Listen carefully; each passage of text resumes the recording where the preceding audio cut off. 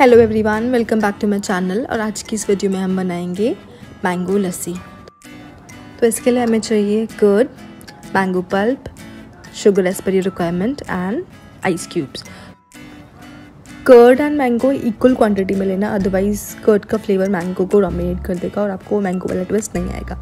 So first of all एक blender में आपको डालना है इसमें curd curd has lot of calcium which is really beneficial for your bones and it has good bacterial lactobacillus, which is really good for your health. Right after curd, आप इसमें डालिए mango pulp you know मुझे तो mango बहुत पसंद है। अगर आपको भी पसंद है तो मुझे कमेंट करके बताओ। एंड देन इसमें जाएगी sugar as per your requirement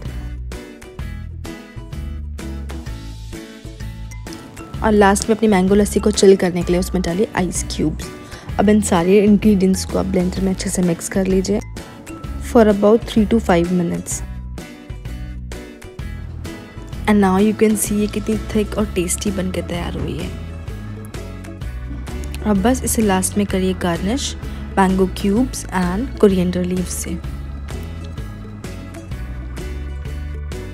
तो अगर आपको भी ये रेसिपी पसंद आई है तो इसे लाइक करिए कमेंट करिए।